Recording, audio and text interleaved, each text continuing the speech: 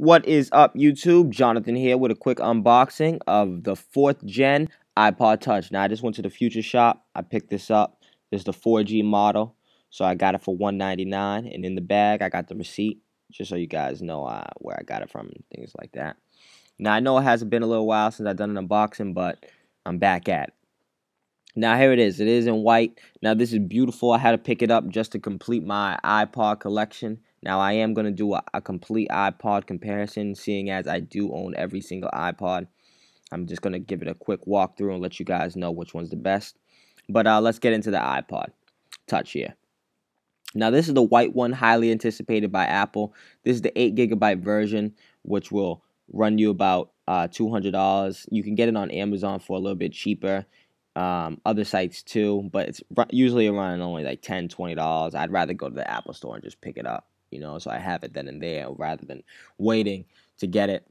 But um, yeah, let's just open this bad boy up so we can see what's inside. Give it a little test drive, a little boot up. Um, to get a little tab on uh, most Apple products. Uh,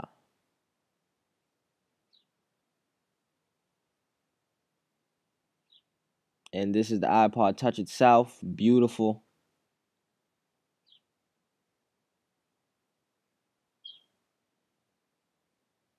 Absolutely beautiful.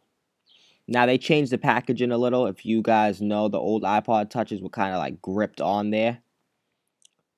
But um, yeah, let's see what's underneath. That just says designed by Apple in California. This is just a guide. Different languages, of course. Fingertips. Apple stickers, always got to get these. Now, I use these everywhere, just so everybody know. Now, you got your 30 pin dock connector.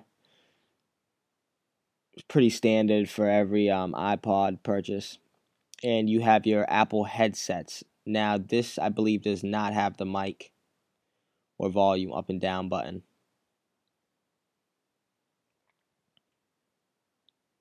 Now let's get to the iPod.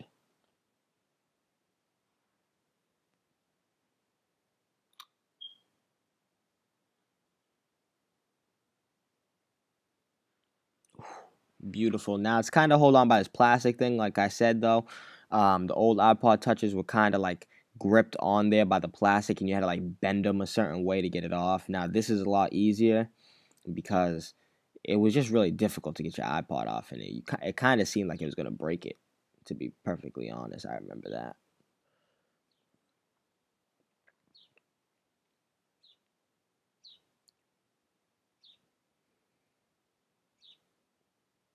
Now, uh, let's just give it a quick boot up, let you guys know.